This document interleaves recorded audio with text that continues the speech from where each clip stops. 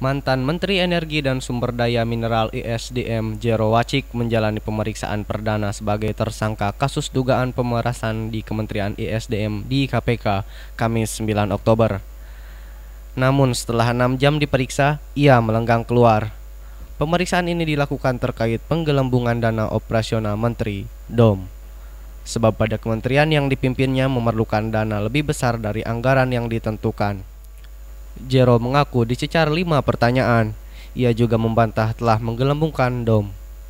Sejak saya Menteri Kebudayaan dan Pariwisata 7 tahun dan sekarang menjadi Menteri SDM 3 tahun, saya mendapat dana operasional Menteri. Dan penggunaannya sudah ada aturannya. Dan saya gunakan sesuai dengan aturan yang ada.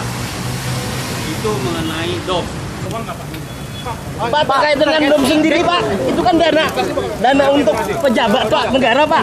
Itu bisa dilihat nggak Pak kita Pak? Buktikannya Pak. Itu kan untuk publik Pak juga Pak, boleh tahu Pak. Kalau boleh tahu di mana Pak? Bisa melihatnya Pak. Pak, penggunaan dana operasional dom itu sendiri Pak. Gimana Pak? Gimana Pak? KPK menetapkan mantan sekretaris Majelis Tinggi Partai Demokrat itu sebagai tersangka dugaan perkara pemerasan di Kementerian ISDM. Caranya dengan menggelembungkan DOM di kementerian yang dipimpinnya. Berdasarkan penyelidikan KPK, dana yang dianggap sebagai penyalahgunaan kewenangan di antaranya dengan mengadakan rapat fiktif. Adapun nilai yang diduga sebagai hasil tindak pidana korupsi mencapai 9,9 miliar rupiah.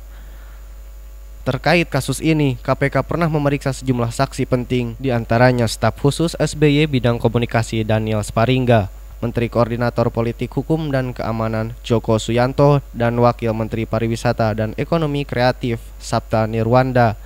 Yulian Saputra Poskota TV melaporkan dari Jakarta.